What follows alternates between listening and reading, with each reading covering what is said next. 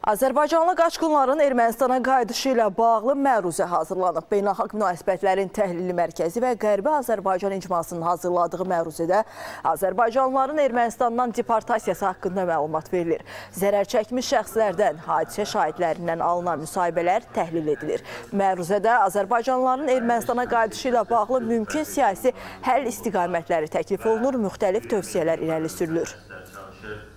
beynəlxalq ictimaiyyətə məruzə ingilis dilində hazırlanıb və əsas məqsəd beynəlxalq ictimaiyyətə, xarici ölkələrdə olan ekspertlərə bu problemi çatdırmaq və bunu da vurğulamaq istəyərdim ki, son zamanlar ermənilər və onların havadarları məsələni qaldırırlar ki, Azərbaycanın Ermənistanın güya ki, ərazi iddiaları var.